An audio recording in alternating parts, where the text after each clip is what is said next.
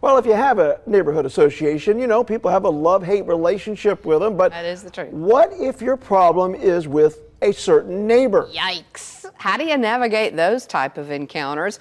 UAB psychologist Dr. Josh Klapow, Tony Kurre join us now to talk about this. Good morning, gentlemen. Can either of you relate? Won't you, Oh, won't yes. you be my neighbor? Put your sweater on, brother. Start talking. Feed your fish first. Oh, we were talking before.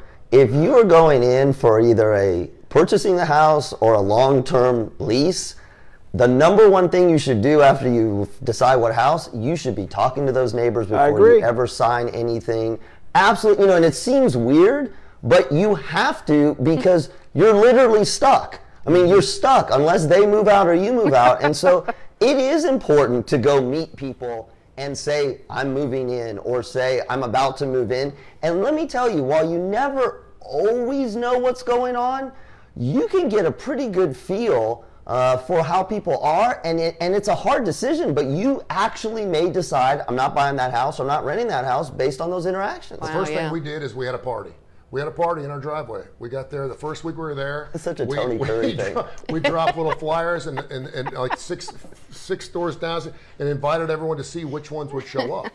Because that way we knew which ones we needed to stay the hell away from. If they weren't showing up at a free not barbecue, showing we knew we for were in trouble. Oh, You know, you- we, we always had that house when you trick or treated and the lights were always off on October 31st. You stay away from those neighbors. yeah. But how? Oh, but now, what if though you have that unruly neighbor, the one who, you know, is is always infringing, you know, and maybe they come over and you know they're just imposing a little too much. They're they don't understand boundaries. How do you deal with that neighbor?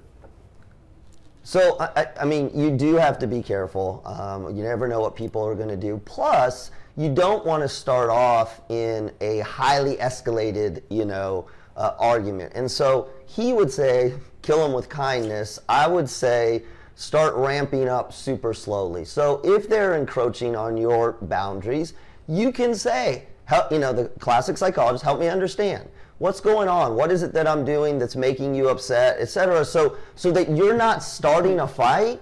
And the reason i'm saying that is you got to give yourself room to ramp up. And and when i mean ramp up i'm talking about being able to say that's not appropriate. I don't agree with that. You're not going to be good. And at some point at some point you may find yourself either calling the homeowner association or calling the police or sheriff Well, it's like the workplace scenario. It's like anything else. Uh, It's a relationship. It is. Right? You're not going to get to know your neighbor overnight, and you shouldn't get to know your neighbor overnight. And you should allow them some room to be who they want to be, whether they put a lot of trash out in their front yard or whether they have a dog that barks at three o'clock in the morning over there. Uh, so yeah, so try to be understanding, and I think there's a really nice way of saying, listen, your dog woke me up last night. Is there any way we can make Yep. sure the dog's not outside at three o'clock in the morning? I think there's a, a proper way of doing that without picking a fight right off the bat because that's not going to work either. Well, we had heard stories. What got us talking about this was people were telling us some stories about neighbors who didn't like the dog walking even near their yard. And so, kind of extreme mm. things, and these people become angry. That's what frightens me. I don't like to encounter people. So, if someone encounters you, what do you do? Yeah, I mean, I think this is one of those ones where you also have to think about your safety and you have to be willing to kind of back off and and keep it. I said, I keep it neutral.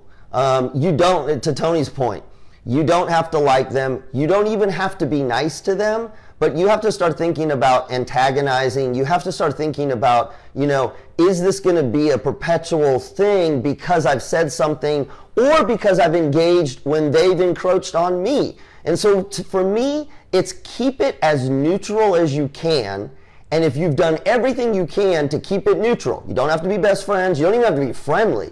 If you've done everything you can and they're still encroaching, I, I'd say it, it may be time to bring in law enforcement. I know oh, people are going to hate this, That is but try to get to know your neighbor a little bit. Ask some Yeah. questions. Maybe there's a reason why they got an old refrigerator on their front porch, or maybe there's a reason why that dog is outside at three o'clock in the morning, or why maybe there is a reason why they're not friendly with the mailman. I, whatever it is, but say, you know, I noticed you're kind of rude to the mailman when it comes by. Did you did, did something happen? I mean, just ask hmm. questions, and usually the divulges things. If you're ever invited into someone's home too, I think it's a great time time. Sure. Have a cup of coffee, get to know your neighbors a little bit. At least knock on the door when you move into the neighborhood and let them know, hey, listen, Look I want to be amicable. Look Good at conversation. Tony will let you. Tony will let you look at. Yeah. If you someone's calling the cops on We, me, we got to run, gentlemen. It's- we got to it's run. We do appreciate it. Dr. Josh Klapow, Won't Attorney Kurre, appreciate it. And this is why I my live in a neighbor? tree house. We got to go.